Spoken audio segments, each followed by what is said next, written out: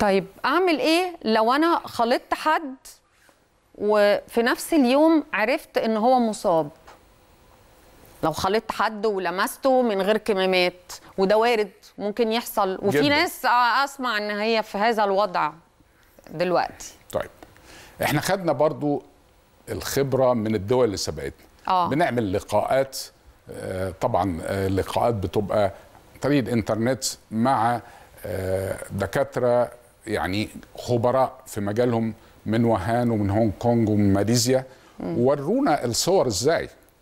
اتنين دخلوا مكان فيه احتفال أيوه. في خلال 48 ساعة عادوا 30 واحد.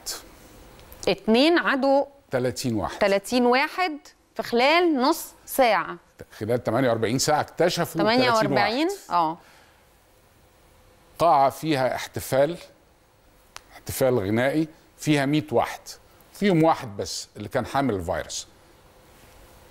خرجوا من القاعة 70 عندهم. ما هو ده اللي حصل في. اللي حصل في العيد من تجمعات الناس اللي سافروا. بالظبط يا فندم.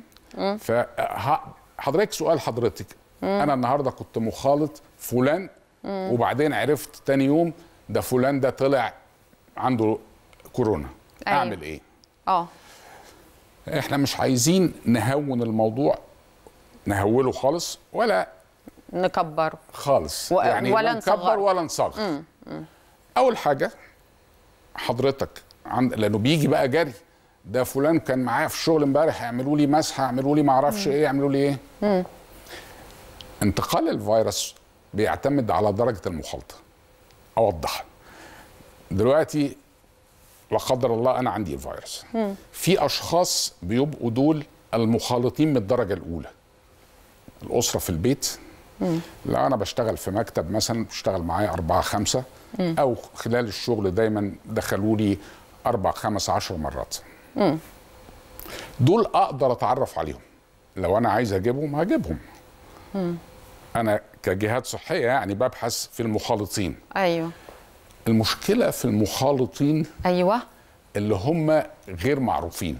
يعني أنا برضو عندي الفيروس حامل لا قدر الله وبعدين ركبت المواصلات وبعدين نزلت على البنك عديت دخلت البنك وبعدين سحبت كده المرتب فقلت أروح السوبر ماركت بقى أصرف شوية دخلت السوبر ماركت.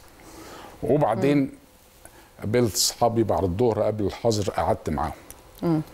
وعمال أعدي وقفت على محطة ال underground طيب قابلت هنقف كام واحد؟ عند محطة ال underground عشان ده مهم جدا جدا جدا.